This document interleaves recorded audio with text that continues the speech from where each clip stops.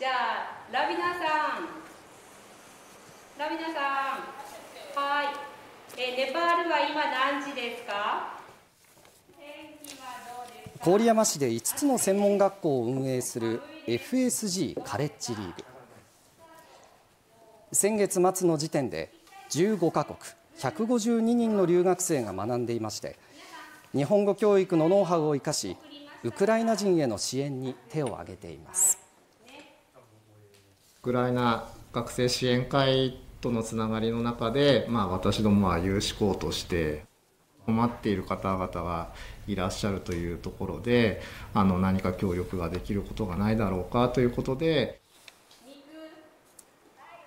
支援は避難するウクライナの人に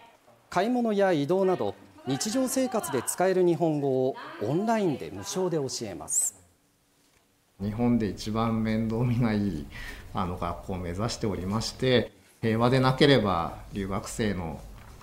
入国というのはなかなか厳しいと思いますので、まあ、早くですねあの平和が訪れることを願っています。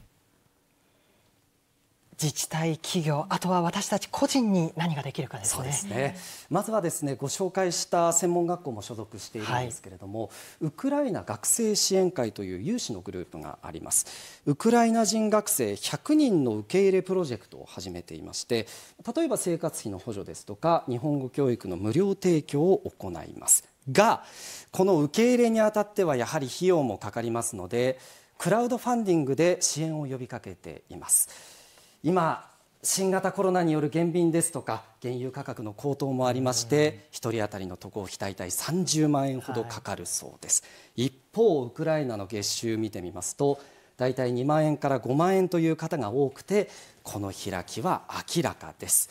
集まった資金は日本への渡航費を中心に活用される予定ですけれども100人を目指す中現時点で集まったのはおよそ25人分ということです